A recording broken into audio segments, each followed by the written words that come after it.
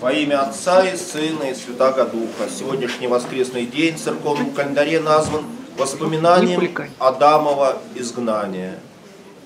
Мы вспоминаем то событие, которое лежало на заре человеческой истории.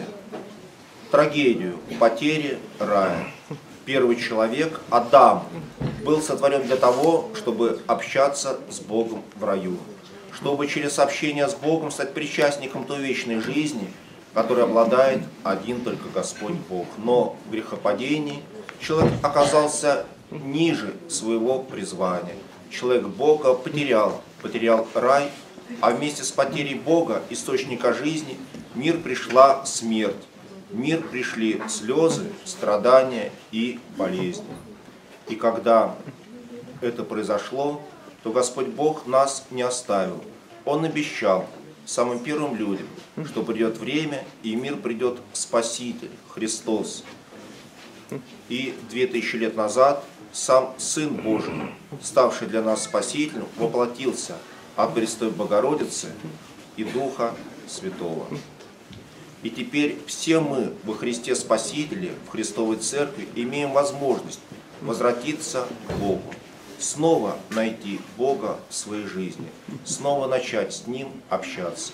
И о своей близости к нам, в церкви, Господь говорит, что всякий, кто ест мое тело и пьет мою кровь, а это слова именно о таинстве причащения, тот во мне пребывает, говорит Господь, а я пребываю в нем. Так близок к нам Христос Спаситель. Но все равно нас и Бога, ставшего человеком, как стеной отделяют наши грехи, наше нравственное несовершенство.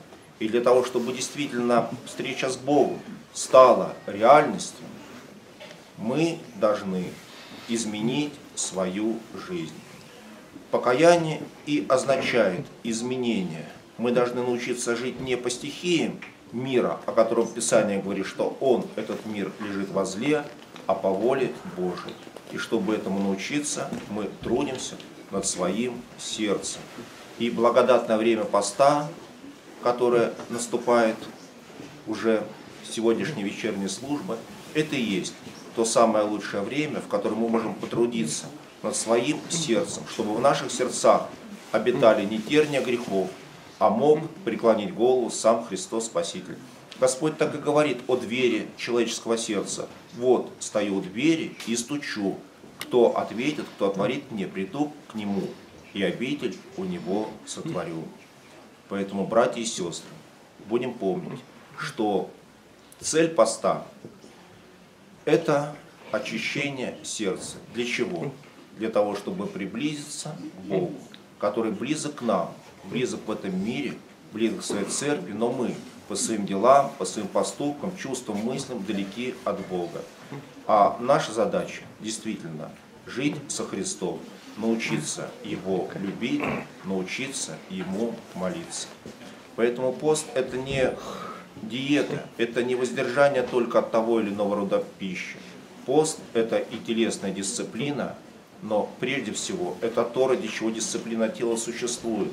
Это путь молитвы, путь покаяния, путь, который должен нас привести к двум вещам, к смирению и любви.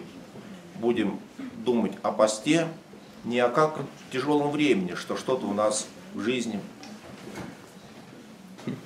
отнимется, а будем думать о посте как о времени, в которое нам в жизни, наоборот, что-то прибавится.